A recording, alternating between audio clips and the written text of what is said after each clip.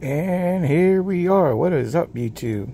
I just wanted to show you guys what's been sitting on my shelf for a couple weeks. As you can tell, there's some Bowman Megas, some Mosaic Blasters, Topps Baseball, Topps Jumbo boxes, uh, a bunch of Pokemon packs, um, Topps Chrome Baseball, Select Draft Picks, Prizm Baseball, Archives. I mean, this place it's been like this for a couple weeks.